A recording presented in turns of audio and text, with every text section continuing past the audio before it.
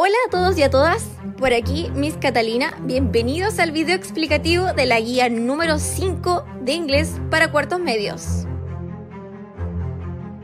Objetivo, leer comprensivamente e identificar ideas generales e implícitas en los textos leídos. Habilidades, reading and writing. Objetivo de aprendizaje número 1. Pre-reading. Ítem 1. ¿Sabes de alguien que haya vivido alguna experiencia paranormal? ¿Crees en ese tipo de cosas? Responde a estas preguntas en inglés. El texto a leer es The Peace and the Plenty Inn. Bueno, ahora solo debes leer el texto.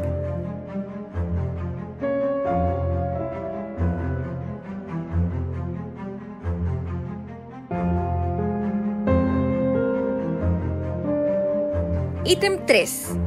Busca en un diccionario o en internet la traducción al español de las siguientes palabras.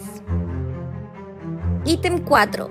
Lee las oraciones y escoge la alternativa correcta. Debe tener sentido con lo leído en la historia. Ítem 5. Escribe tu propia historia de terror. Máximo 5 líneas y mínimo 3 líneas. Usa tu creatividad y escribe en inglés. Recuerda que para cualquier duda o consulta te dejo aquí nuestros Instagram por si quieres conversar y solucionar tus dudas. Good luck, buena suerte en esta guía. Ponle todo tu empeño, esfuérzate, concéntrate y ya queda poco. Mucho ánimo, nos vemos pronto.